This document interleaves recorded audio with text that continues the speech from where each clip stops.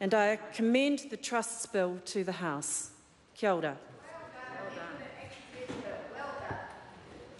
Te māngai o te whare. I call Willow Jean Prime. Uh, tēnā koutou katoa. Um, I was trying to think of a waiata or a whakatauki or something like that to start my speech off tonight, as has been the custom of my previous speeches. But I struggled to find one. So I thought instead I would um, tell a little, a, a couple of stories which are absolutely relevant to the legislation that we're talking about tonight. The first is that my law lecturer, too, will be watching this debate with interest. Uh, equity was one of the most difficult subjects uh, for myself when I was studying law at Waikato University. Uh, however, I did get it in the end and I passed very well with good grades. Um, but I couldn't understand why it just had to be so complex. And then, when reading the background to this bill, um, perhaps the fact that the law has been the same for 60 years uh, and is quite archaic explains uh, why. Many law students, I think, struggled with equity uh, when I was at university. The other thing uh, that I wanted to share was a bit of a funny story when I was participating in a moot competition at university, and it's all about um, interpreting law and putting it into your own words and then arguing your case.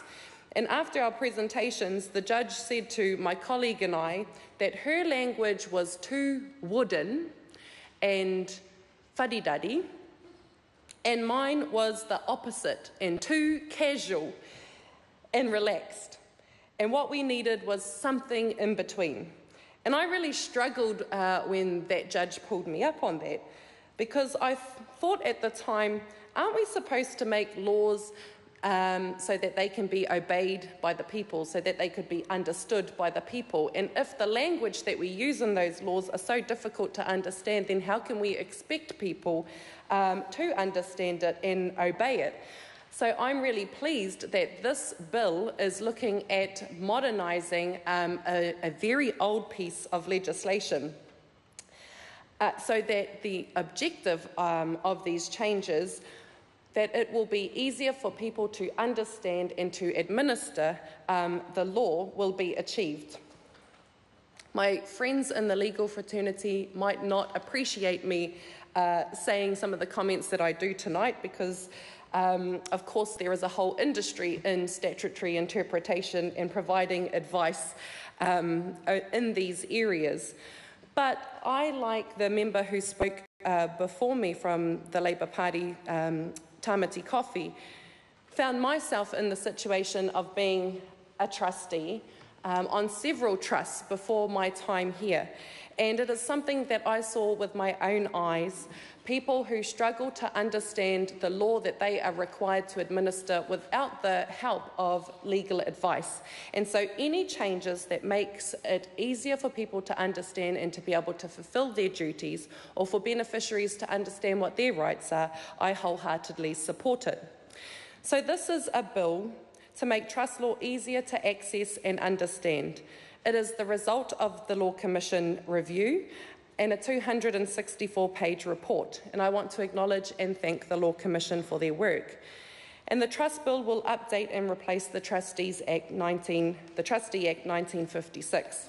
And as I said, this is the first significant change in the trust law um, in over 60 years. Trusts are a big part of our legal system, and the Ministry of Justice says that there are between 300 to 500,000 trusts operating in New Zealand today. So, this is a significant piece of legislation that affects a significant number of people. And for an area of law that is so well used, it is time that we refreshed it. The objective of the Trust Bill is to provide better guidance for trustees and beneficiaries and make it easier to resolve disputes. And it does this by providing a number of changes, which I summarise here. A description of the key features of a trust and the duties of trustees, clear rules about when trustees are required to provide information to beneficiaries so that beneficiaries can enforce the trust, practical, practical and flexible trustee powers that allows trustees to manage and invest trust property in the most appropriate way, and options for removing and appointing trustees without having to go to court in straightforward cases. I wanted to talk um, specifically about Māori land trusts, um, which are unique to New Zealand and make up a significant proportion of New Zealand's trusts. In fact, in the Law Commission's report, it notes, and this is back in 2013, that there were 9,230 whānau trusts, 5,575 ahu whenua trusts, 33 whenua tōpū trusts, three Pūtea trusts, and 2,726 Kaitiaki trusts. Along with the settlement legislation and the trusts created through treaty settlements, this is a significant area of law for Māori. Māori land trusts are unique and make, as I said, are unique and make up a significant proportion of trusts. Unlike express trusts, though, Māori land trusts are generally not settlor made, but are created by order of the Māori Land Court, and they are primarily land management structures. They continue in perpetuity and are mostly fixed trusts. It is the intention of this bill that the Māori Land Court and Appellate Court would continue to apply general trust law in a way that reflects that particular context. And the provisions of the trustee bill and, uh, tr- and general trust law are applicable to Māori land trusts where Te Ture Whenua Māori Act is silent.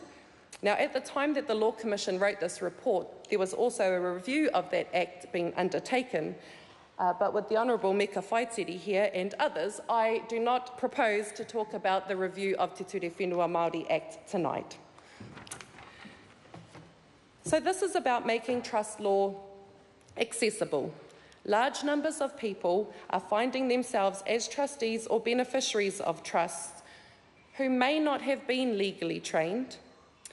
And there's confusion amongst many of those trustees as to their role or duties, and amongst beneficiaries as to what they can and cannot expect of their trustees.